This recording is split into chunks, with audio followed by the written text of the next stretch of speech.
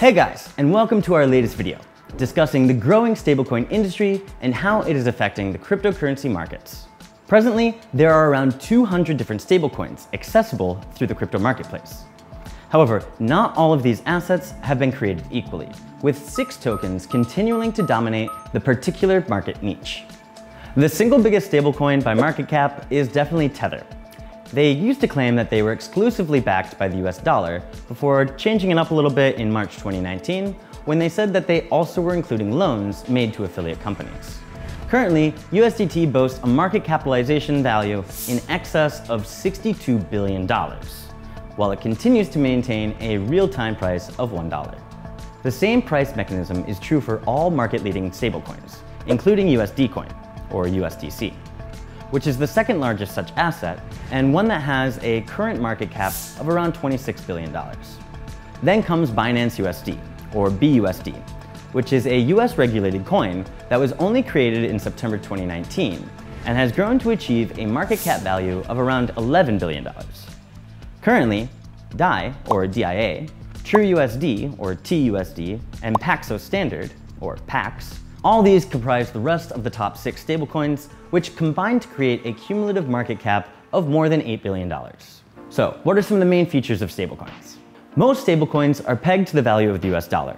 For stablecoins, this means that each token pledges to retain a value as close to one US dollar as possible, usually achieving their price stability either through collateralization or a unique algorithmic mechanism by buying and selling the underlying asset and its associated derivatives. These stablecoins allow users to buy, sell, and exchange crypto assets with a token that has a more relative and tangible value, providing far greater stability and a point of reference in an inherently volatile market. This has changed the landscape of the entire marketplace from the perspective of traders, who no longer need to trade coins paired with Bitcoin or Ether, and so can manage their portfolios with less risk. More cautious traders who might want to mitigate risk also use stablecoins as a security measure. When they suspect that a bear market is coming, they can trade their crypto into a stablecoin and keep it there until the bulls come back. Another feature of stablecoins is how well they fulfill cross-border payments, allowing for more cost-effective and efficient remittance transactions while promoting far greater financial inclusion. In fact, stablecoins such as USDT provide a far better long-term option for crypto payments, as they offer lower transaction fees, greater speed, and no risk of losing value during a transaction. Now, let's consider the process of pegging stablecoins and of price movements in this niche. Clearly, such assets rarely stray too far in terms of valuation. But as we've already touched on, each uses slightly different mechanism to retain its peg. Let's look at Tether, for example, which is built on top of a cryptographically secure open blockchain technology and is broadly pegged at a one-to-one -one basis with the US dollar. Each Tether token is backed 100% by the network's real-time reserves, with the same concept true for the market's other leading crypto assets. The question that remains, of course, is what happens when such assets are knocked off their peg? And as painful as it might sound to get knocked off of its peg, well, there are mechanisms in place to correct that occurrence. But once again, all this will depend on the precise stablecoin in question. With Tether, it's the exchange that credits users' accounts with a single USD for every USDT deposited. However, when the price of USDT and USD deviates considerably from $1, arbitrageurs bring it back into sync.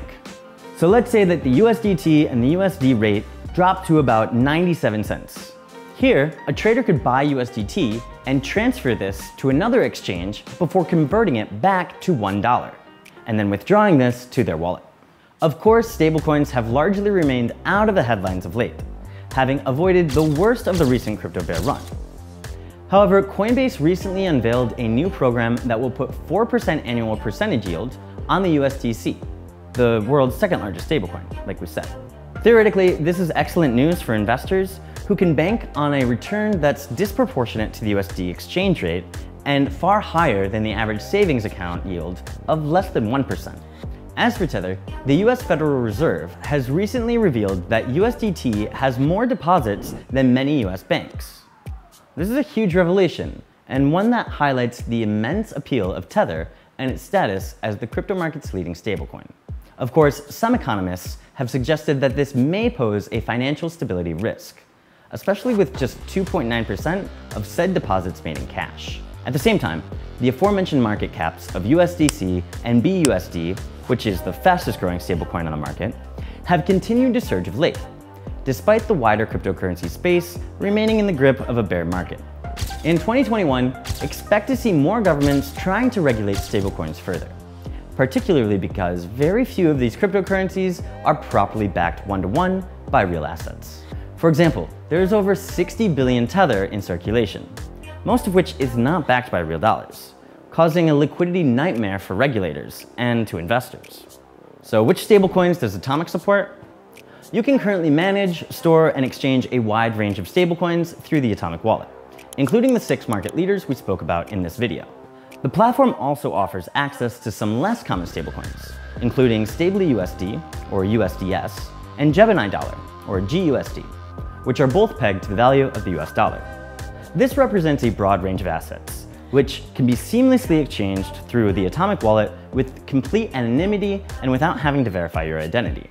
You can also check out the Atomic Wallet site to find out more, of course, including the real-time market caps and trading volumes of each asset.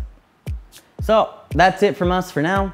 Thanks so much for watching, and we'll be back real soon with some more informational videos.